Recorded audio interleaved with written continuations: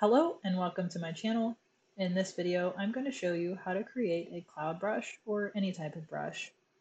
We can create a brush of this entire skyscape or we can cut out just one cloud. So with the lasso tool, L for shortcut, I'm going to select one of these clouds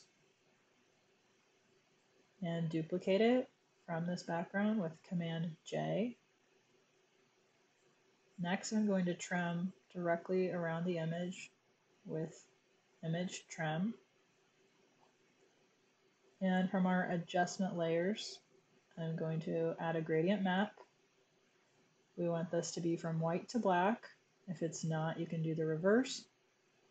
We do want the cloud to be black for this. Next, I'm going to adjust the stops so that the background is completely white.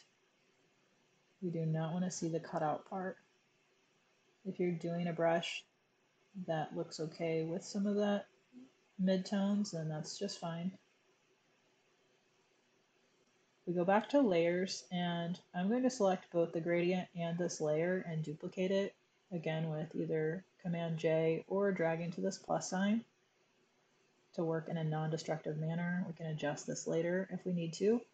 I'm going to merge the layers with Command E and now we're going to go to Edit, Define Brush Preset, and name this whatever you'd like.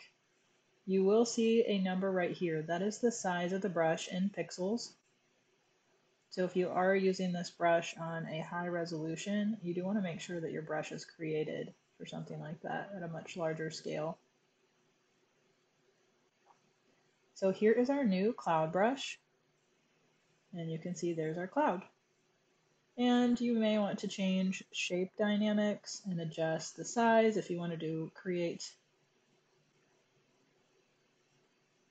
a little bit more of a dynamic brush. You probably don't want angle jitter on at this time. And you can also change the scattering and the count. So let's say we want five clouds painted and this is going to scatter in both x and y axes. You can also use color dynamics for your foreground and background colors if you wanted to change those. Let's pick something a little bit more visible.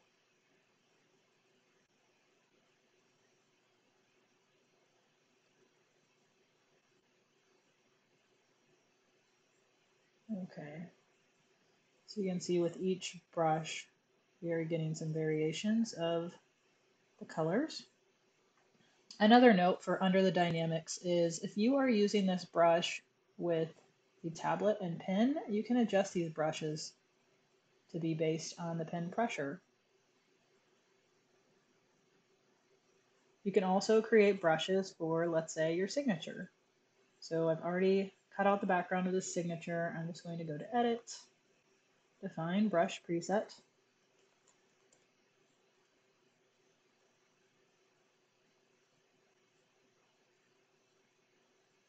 I'm going to create another brush using an image like this.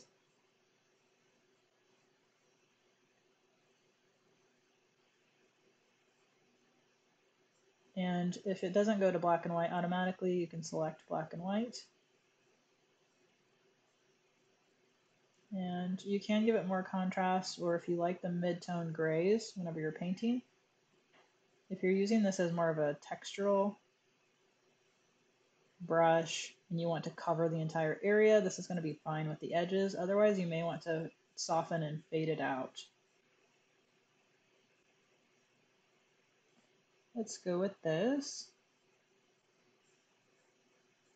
And we do need to merge this before you save it.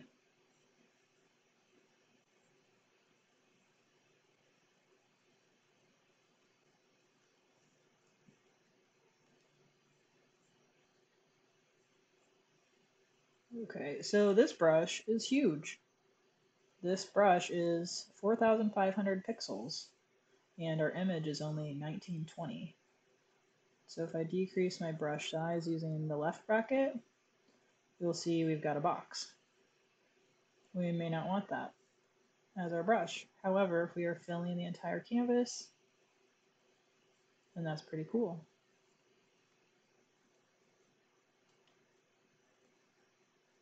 And as long as you are on your main move tool, you can hold down shift and your plus and minus to go through filter effects. So this could be a really cool effect depending on what you want to achieve.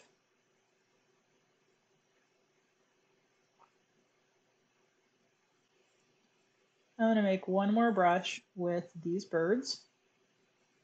I'm going to duplicate the image. And in this case, I do not want the clouds within the brush. So I'm going to tap W for the wand tool, select subject, and I'm going to create a mask. There is a little piece of the image here.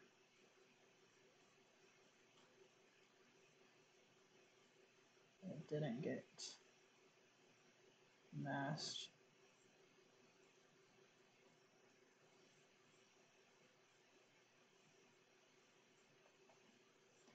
And create our gradient map. We do want the birds to be black. So I'm to reverse this time.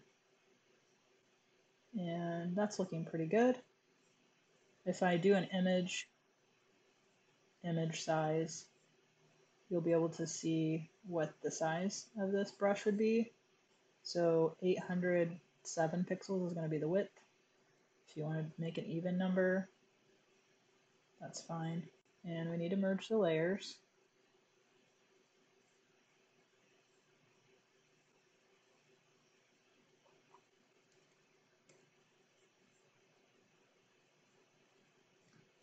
So for our color, I'm going to change it to like black.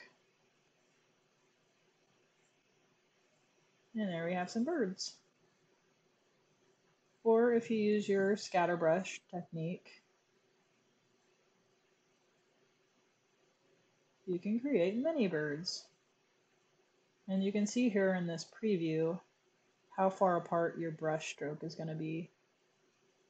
And if you want it to go on both axes.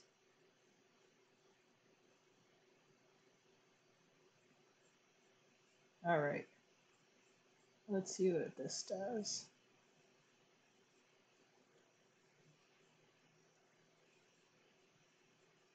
So I can paint all sorts of birds.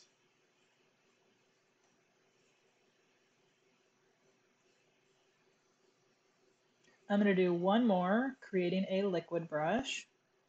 And I've saved a few images from unsplash.com, which is another free image website. All right, let's go with this one.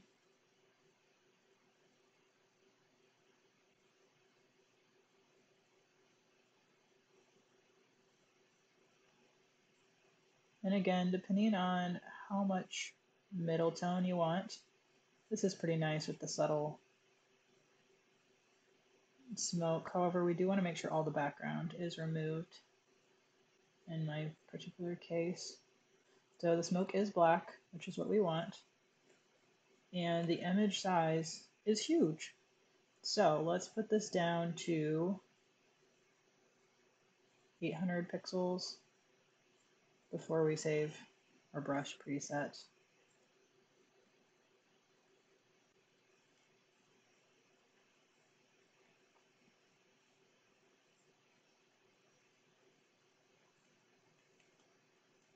Something you may want to do in this case would be to make sure this is blended out so we don't have a chopped edge.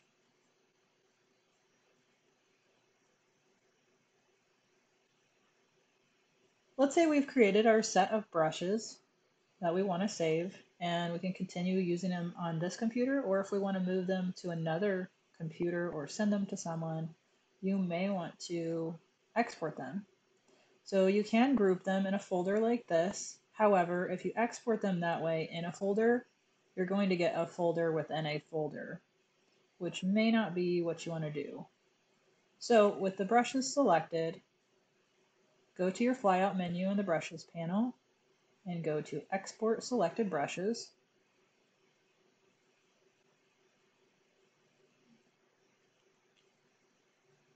And this is going to be the name of the folder that's imported. So let's say these have no hyphens.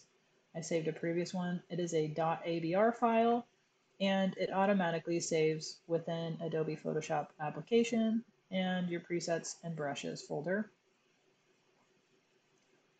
So now that I've done that, I'm going to import, let's say we're on another computer, and we go to the flyout, we're going to import brushes and select. You can see in the file size that the size of the brushes um, do take up quite a bit of space depending on the resolution and dimensions. So here is our new folder of brushes. If this video helped you out, please like the video and subscribe. Thanks for watching.